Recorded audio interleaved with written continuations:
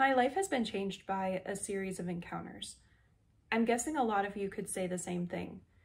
I'm guessing that a lot of you watching this video would be able to look back on your life and recognize a moment where you met a person who maybe down the line or maybe right there in that moment changed your life or changed the direction of your life in a, in a fairly drastic way.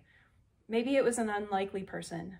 Maybe this person was someone you never in a million years would have imagined would have changed the course of your life, helped you to become the person that you are today, and helped you to grow closer in your relationship with God.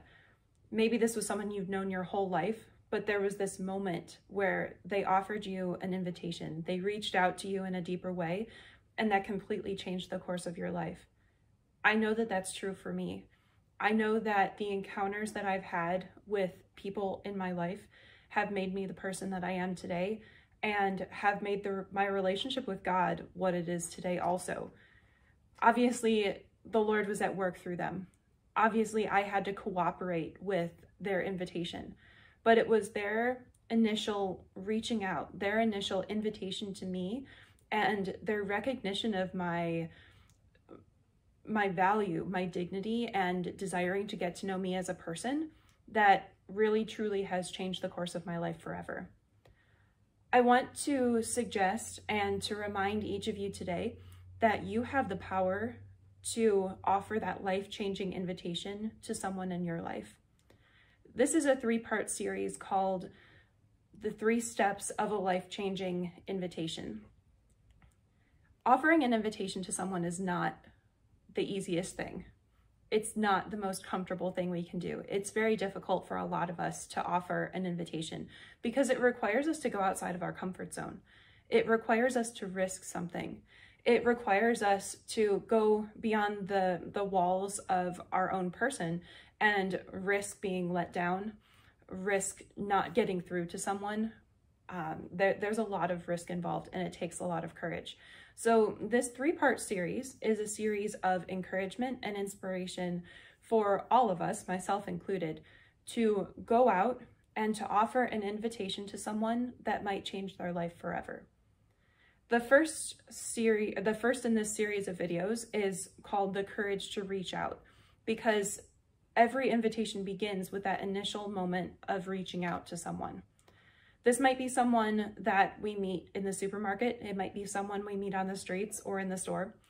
But it also might be someone that we've known our entire lives, but never really taken the initiative to get to know very well, never taken the initiative to have a real deep conversation with. This might be someone you meet tomorrow. It might be someone you met the day that you were born. But for all of us, there's someone in our lives or someone who might show up in our lives very soon who needs us to reach out to them because they desire someone to recognize their dignity, because they need hope, because they've lost their faith and they don't know where to rediscover it, because they need community and they're longing for someone to see their own value and dignity. There's someone in each of our lives that we need to reach out to again, this idea of reaching out can be really, really intimidating. I'm a shy person at heart. It's my nature to be um, introverted. Um, it's not easy for me to reach out to others, but I've noticed and I've learned over especially the past couple of years of my life that reaching out to another person is the most powerful way that God can work through us and that he gives us all of the courage and all of the tools that we need in order to do that.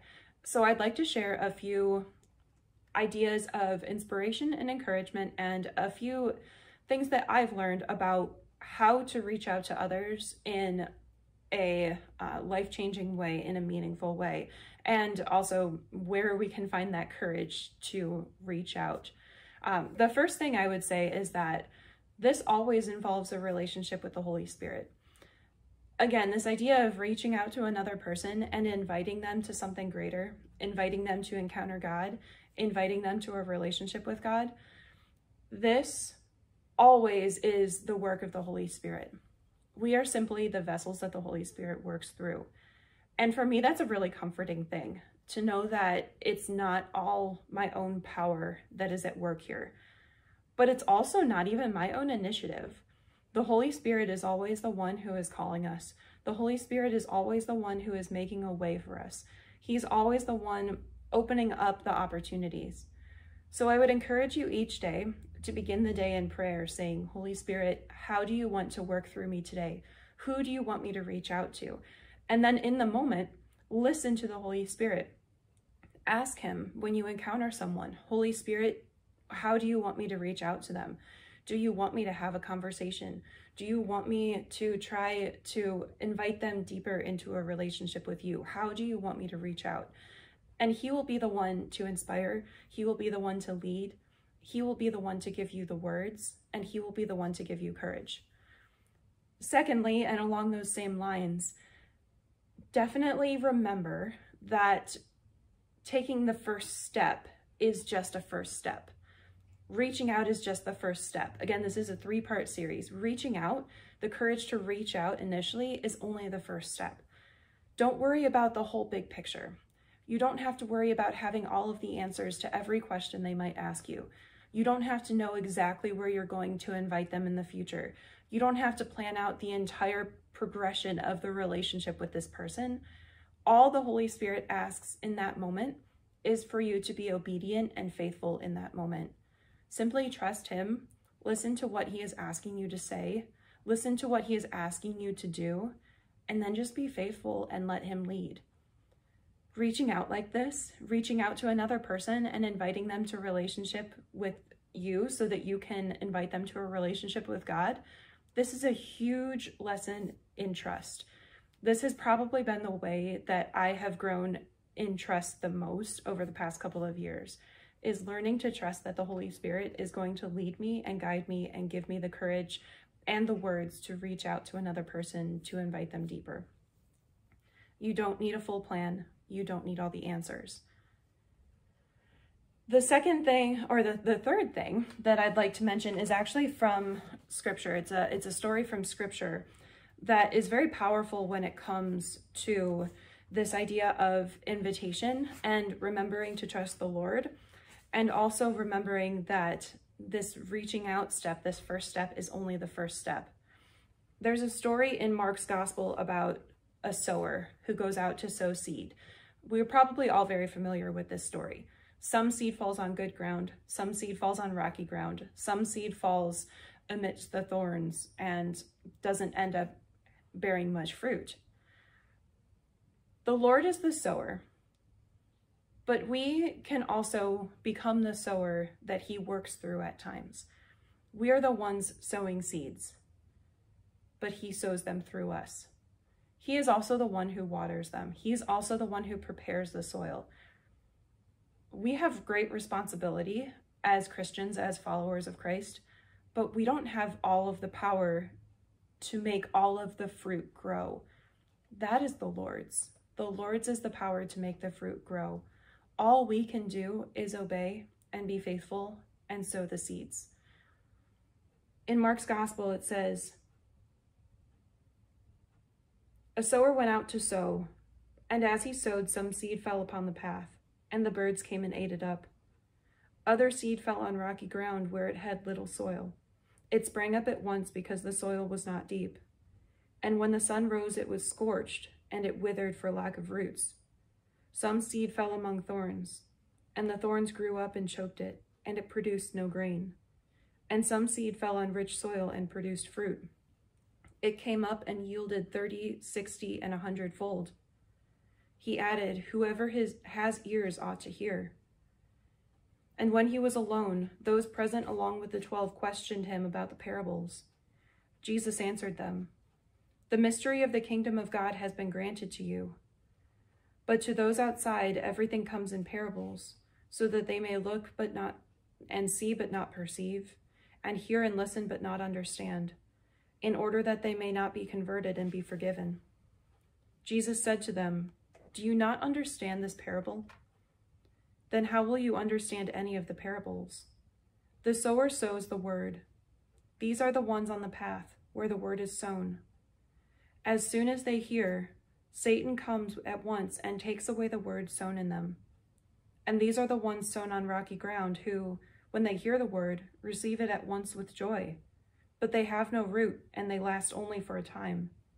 But when tribulation or persecution comes because of the word, they quickly fall away. Those sown among thorns are another sort. They are people who hear the word, but worldly anxiety, the lure of riches, and the craving for other things intrude and choke the word, and it bears no fruit. But those sown on rich soil are the ones who hear the word and accept it and bear fruit thirty and sixty and a hundredfold. We all have people in our lives who are cultivating different types of soil in their hearts right now. We have people in our lives who are so hungry for the word and have cultivated such good soil that when we get when we share the word with them, when we reach out to them, it will fall on good soil and it will bear a lot of fruit. But we also have people who are overcome by the anxieties of the world. We also have people in our lives who have thorns in their hearts of sin that choke out the word that we might share with them. Our initial invitation, our initial attempt to reach out, it won't always bear fruit. And that's a really hard reality that, at least personally, I've had to come to understand. God is the one who, who waters the seeds that we sow. We have to trust him that as long as we are faithful, as long as we take the opportunities that are given to us to share uh, the word of the Lord, but also just to reach out and develop a relationship, that he will take that relationship wherever he desires to take it, that that fruit will grow if he desires it to grow, and if that person is open. We can only be faithful and reach out. One thing I do want to add at this point is that this is not always uh, a total stranger that we're talking about. This might be someone in your own home that you're called to reach out to. This might be a sibling that you've lost touch with. This might be a cousin that you grew up with, but never really got into a, a deep relationship of faith with. I know for myself, it can be even harder to reach out to members of my own family than it can to people that I work with or people that I encounter in our parish. I know just recently I reached out to a family member of mine who I have never really had real deep real deep conversations about faith with. Our conversation didn't start out about faith. We simply had a conversation about something else and that we ended up getting into a bit of an argument about. In the midst of that conversation, I felt a calling by the Holy Spirit to ask her about her faith life because she seemed to me to be extremely anxious and I knew that if she really had that relationship with Jesus, that that would be a different, she would have a different experience. She wouldn't be experiencing all of that anxiety. As we talked, I realized that she really had lost her faith. But we had had a conversation just then, an open conversation about faith that we had never had before in the past. And the reason we were able to have that was because I listened to the Holy Spirit and I took a risk. I took a risk that she might shut me out. She might not answer my question. She might not end up listening to what I had to say. But I took that first step. I took that risk and I trusted the Holy Spirit. And our conversation ended relatively well. I'm still praying for her. I don't really know what kind of fruit the Holy Spirit is going to grow out of our conversation, but I know deep down that I was faithful I know deep down that the Holy Spirit wanted me to ask that question. He wanted me to reach out and take that first step. So now I just have to pray and continue the relationship with her, but pray that the Holy Spirit grows that fruit, that he produces fruit from the faithfulness that I showed towards him. Finally, I wanted to comment on the saint of the day today. May 26th, the date that this video is being recorded, is the Feast of St. Philip Neri. He was a saint back in the 1500s. He lived in Rome, and he was known for his great joy. He would simply stand in the middle of the street, on the street corners in Rome, and tell jokes and just get to know people and bring them joy. And that was the way that he evangelized. He didn't jump directly to telling them about Jesus. He didn't jump directly to quoting scripture to them. He simply first developed a relationship with them through joy. Those were the seeds that he sowed. And because of his faithfulness, because of those seeds that he sowed, God produced abundant fruit in Rome through him. We can all do the same. Yes, our ultimate goal is the salvation of the souls of those that we encounter. Our ultimate goal is telling them about Jesus, leading them to Jesus. But joy is a fruit of the Holy Spirit. If we simply share joy with others, that might be that initial reaching out moment that draws them in so that later on we can introduce them to the person of Jesus. So I encourage you today to remember four things.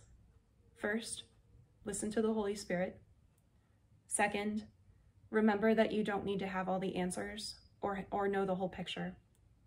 Third, remember that we only sow seeds. God is the one who waters them and who brings about fruit. We only need to sow initial seeds and be faithful to what God is asking us to do. And fourth, it could just be your joy that draws others in, that invites them in, so that later on that fruit can grow. So cultivate joy today and reach out to others today.